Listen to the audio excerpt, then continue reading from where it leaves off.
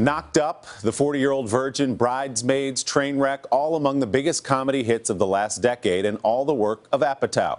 With a writer's background and an eye for talent that has elevated actors like Amy Schumer, Lena Dunham, and Seth Rogen, Judd Apatow is a modern comedy maestro.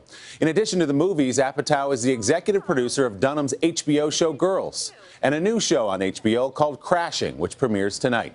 The Long Island native and I got together at New York City's famed Comedy Cellar for a Sunday sit down.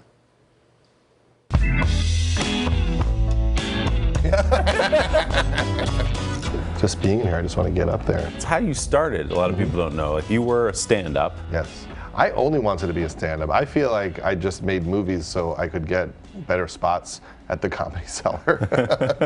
no, I mean this in the nicest way possible, Judd, but you are perhaps the biggest comedy nerd yes. I've ever met in my life. you had uh, this high school radio show. Mm-hmm. You interviewed Seinfeld and mm-hmm. Leno and Steve Allen. It's incredible, yeah. the biggest yeah. comedians of the time. So you pick up the phone, you call, let's say, Jerry Seinfeld's agent. Yeah. And you would say what? I'd say, This is Judd Apatow from WKWZ Radio. and how does that work when you uh, audition and then get steady work? Well, you audition, you start off at 3 in the morning, and you fight your way through the order by hopefully by doing better than the guy that they put on ahead of you. And next night they put you on ahead of him. The thing that most people talked about, which was most helpful, they were all like, it takes about seven years to learn who you are enough to you know have a comedic identity. So I started doing stand-up senior year of high school, did it while I was in college, and slowly I realized I can pay my rent if I write jokes for other comics. And that's how I began writing.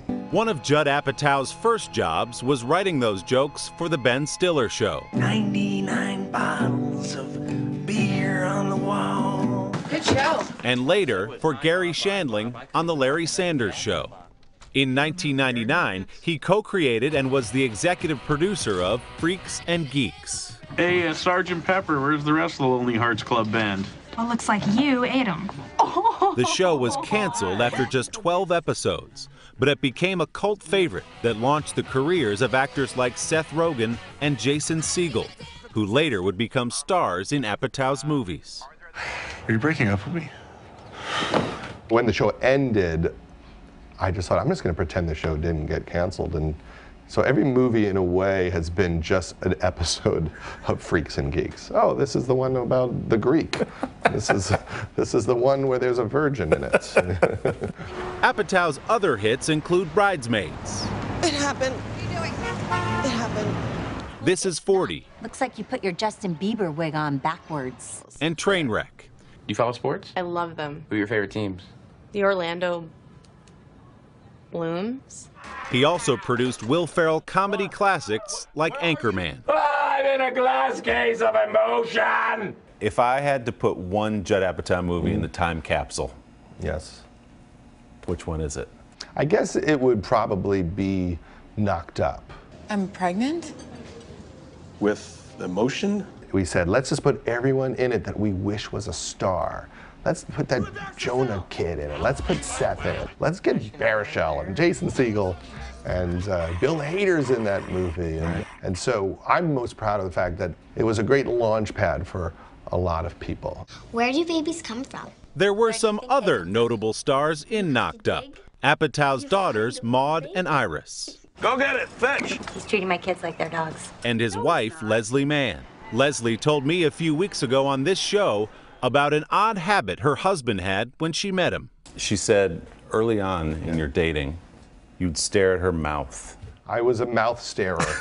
but what does that say about how I was parented? Is I'm I'm dating Leslie. I'm 27 years old, and no one's ever told me in my entire life that when you talk to people, you look them in the eye.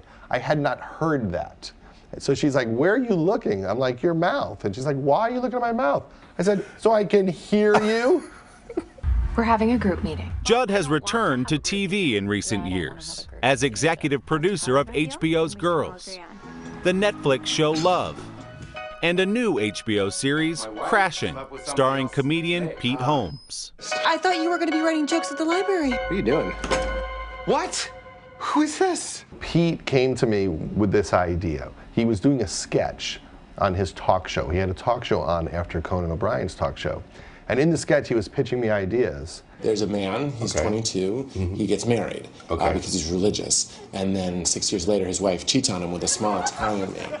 Ooh. And, uh, and then I get my heart broken, but I learn life lessons. And I made fun of it in the sketch. That doesn't seem like a comedy at all. That just seems r- tragic and sad. But then after we shot the sketch, I said, that's actually a pretty good idea. All right, ready? And action. When the 49 year old Apatow isn't working on a TV or movie set, he's often writing to his nearly 2 million followers on Twitter, where he's been a relentless critic of President Trump. Do you see any downside or any risk to you about being so out front about this stuff? I think everyone is concerned about their their careers. But you know, you look at things that have happened in history and you say, why didn't anybody speak up? Why did people allow that to happen?